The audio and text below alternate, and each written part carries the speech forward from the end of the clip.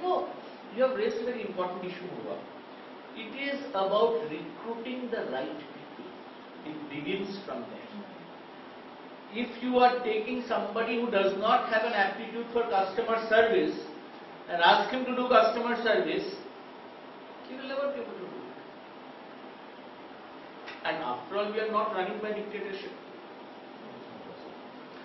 You know what? The challenge is how much importance is being given to this by the senior most people who are leading the different teams. They don't perhaps realize their role in customer satisfaction. Everybody believes customer satisfaction is the headache of the people who are facing them in the centers Yeah. and we hardly have any role. Mm. And that orientation, once we can bring in, I, for example, always mention that Indigo flies on time not because of the pilots, but because of the ground staff. Because they make it sure that the plane gets loaded on time to take off. Because once it takes off, there is unlikely that there will be a traffic jam midway. There could be a traffic jam while landing because of a busy airport. So, you know, that seamless alignment, There is also another aspect that one has to consider in case of Indigo. Yes, Indigo timings are invariably 10 minutes more than other flights. correct. So they fly on time even if they are 10 minutes late. Even then they are considered flying on time. Yes, because that's the image So they have built. That is the image that they In build. fact, that is the point I wanted to raise. That is- Yesterday, Indigo was late by 30 minutes, but they're telling me landing is being on time is a wonderful thing. Absolutely. From Hyderabad to Kolkata. That encompasses the foresight to That, that was a strategic di- uh, No, no, the strategy, let me tell you the Indigo strategy. Alright. You know, there is a time in which the aircrafts fly. Let's say from early morning, 4 o'clock, 5 o'clock till let's say midnight. So let's say they can take 10 sectors. Actually, they have done 9. And that one sector time, they have put it across the distance. So what have they done? They have sacrificed one landing Yes. But created such a positive impression that their load is always higher than the others. So this is all about strategy. It's all about that uh, uh, determination to deliver a promise. Are you getting? All right. Shall we move to customers? Yes. Okay. This is we have heard about brand valuations, right? Globally, Coca-Cola is supposed to be the highest Highest. value brand. This data is from Harvard Business Review. Okay. It shows that on a study from 2003 to 2013, there is a decline in pure brand valuations by over 20%.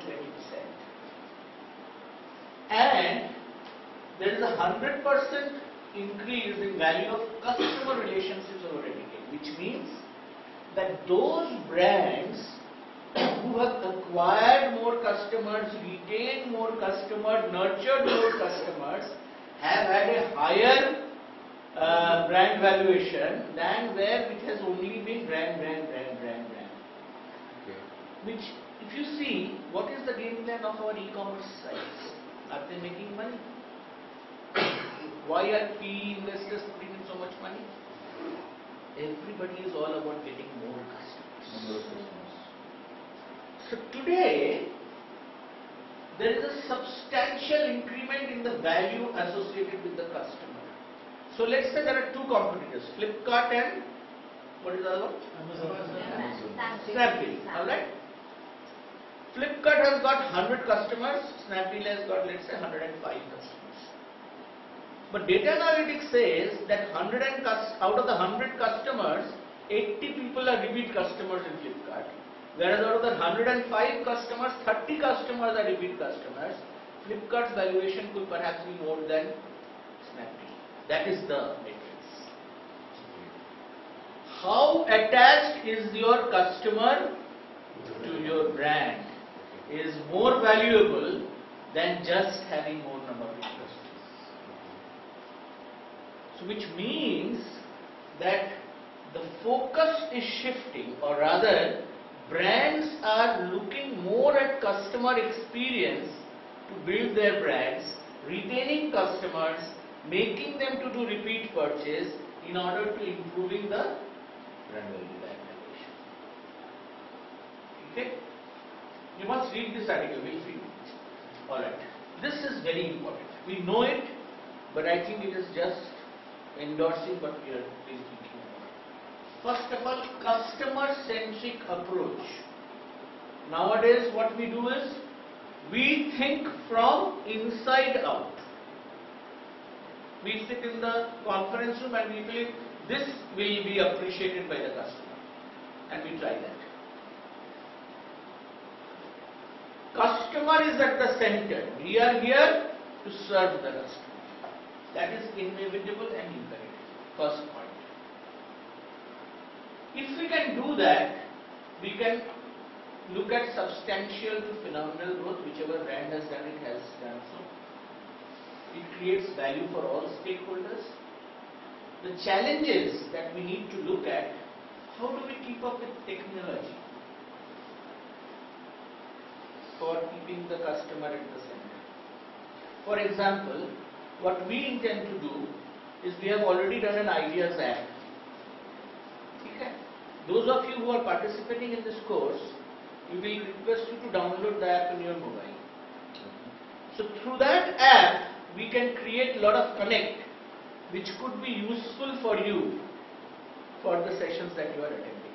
In terms of scheduling of sessions, in terms of key reminders, in terms of any important notices, in terms of pushing through anything which is important for you to remember from the last session, etc. Today I had posted in the WhatsApp group about restructuring. Right? If you've seen, I don't know if you've seen. Mohan, you have written about, somebody has written about logo, identity, this, And, that and uh, all. So on that sir was saying something. Yeah. I had said there is some session on restructuring, we'll talk of restructuring. What it essentially means is that in a journey of a brand, you need to know when to restructure the brand. For example, we have been discussing in ICA that the content, course content of CIA needs to be reprinted. Am I right or wrong? Yeah. Do we need to introduce any other course to attract a different target audience? Do we need to see, because we are operating at the bottom of the pyramid, do we need to see that we need something on the top of the pyramid? Am I right or wrong? Should we relook our logo? Today CIA has become more better known than ICA. So these are all the questions which come under restructuring. And the final is, the word is intensive. Innovation cannot be once in a while thing. It has to be intense innovation. In fact, I am talking to somebody who has developed an IT solution, you know the person, Ramesh Srinivas. And I am inviting him